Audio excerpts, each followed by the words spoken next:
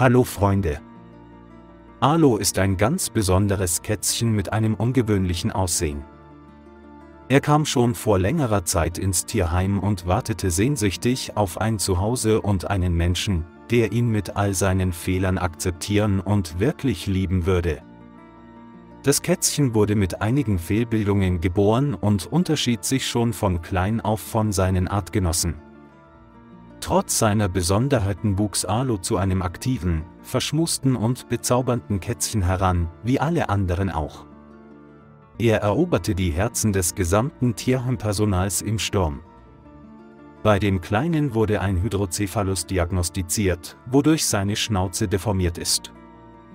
Die Tierärzte konnten bei Arlo keine weiteren Krankheiten feststellen und so konnte man ohne Bedenken mit der Suche nach einem Zuhause für ihn beginnen.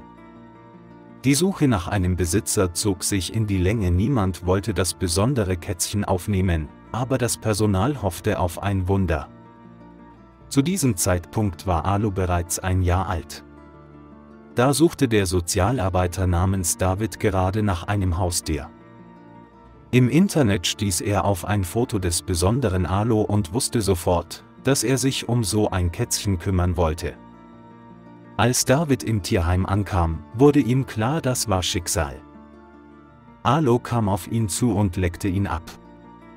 Ich habe das als Zeichen dafür genommen, dass wir zusammengehören. So bekam Alo endlich ein lang ersehntes Zuhause und einen liebevollen Besitzer.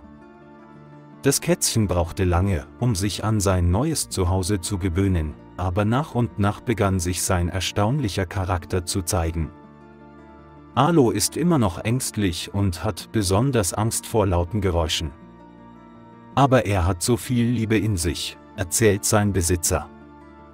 Am liebsten schnurrt er auf meinem Schoß.